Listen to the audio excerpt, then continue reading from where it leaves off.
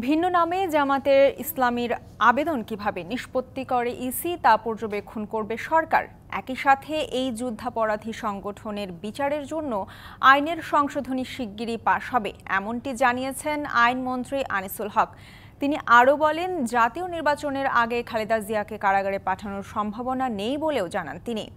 দুপুরে নিবন্ধন অধিদপ্তরের নবীন সাব রেজিস্ট্রারদের পেশাগত দক্ষতা, শুদ্ধাচার ও সেবার মান বৃদ্ধির প্রশিক্ষণ কর্মশালা অনুষ্ঠান শেষে সাংবাদিকদের একথা জানান মন্ত্রী।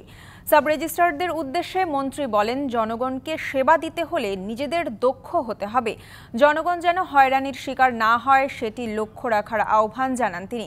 এ সময় রেভিনিউ কালেকশন বাড়ানোর তাগিদ দেন মন্ত্রী। জামাতের বিচার করার জন্য আইনের পরিবর্তন দরকার হবে, সেটা আমি অনেক আগেই বলেছি।